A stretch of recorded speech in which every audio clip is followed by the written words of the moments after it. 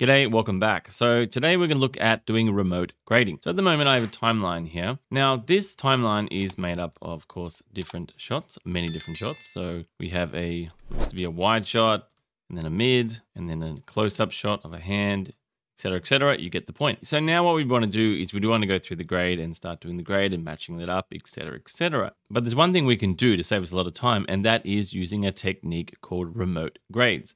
So what we do with remote grades is is that if we were to grade this shot here, it would grade this shot here and this shot here because they're the same clip, but they've just been cut up. So these three shots come from the same clip.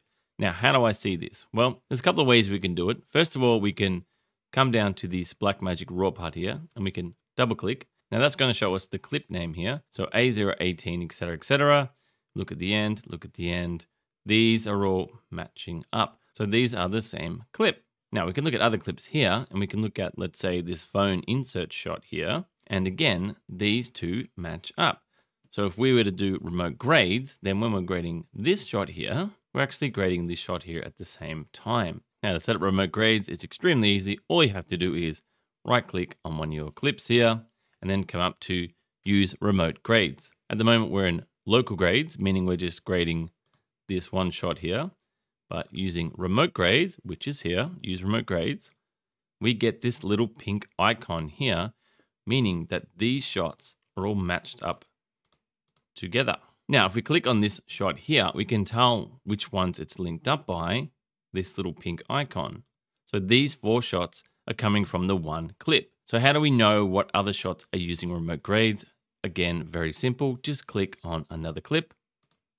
So this one here. And as you can see, it shows you that these two here are coming from the same clip. Let's do a remote grade really quickly. So anything I do in this node here is going to affect this clip here. So if I were to bring down the lift a little bit, maybe bring up some of the gain, bring down the gamma, push it towards warm just a little bit. And let's add some contrast. Let's change our pivot and then go down contrast and something like that looks pretty good. So now we have a very quickly graded shot. So we go across to our other one. We have that exact same grade on. Now to get a better example, we should probably do it in the wider one. So let's click onto a wider shot here.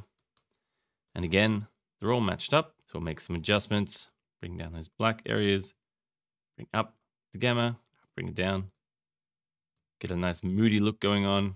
Let's push it towards warm a little bit. Get a nice golden window look. And let's add a little bit of green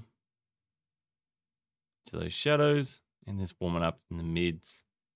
Bring it up just a little bit.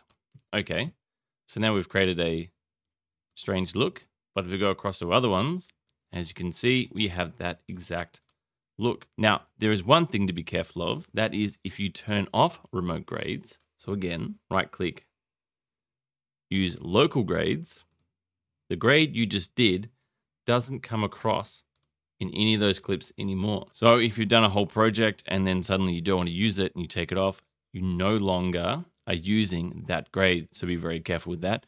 But if you just right click, go back to use remote grades, it's actually still saved in. But that is something to be careful of. Now, let's say that you like this grade on the remote grade, but you don't like it how it's affecting these other clips. Maybe you want to do something else in these other clips. You're doing a color transition or some kind of black and white transition.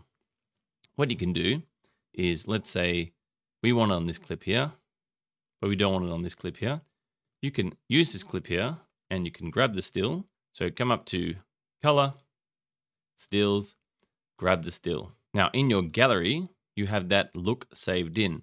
So again, if I turned off remote grades, so use local grades, what I could do is simply come up to our still that we saved, middle mouse click it, or you could do right click, apply grade.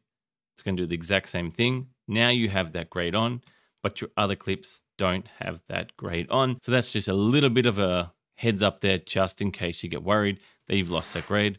Just go back into your remote grade, save the grade, and then you can copy it across. It is a very handy technique to know and a really easy way just to speed up your grading if you're using the same clips, that are made from one giant clip. I hope you found this enjoyable. If you have, thank you very much for watching. And I've been Drew, and have a great day.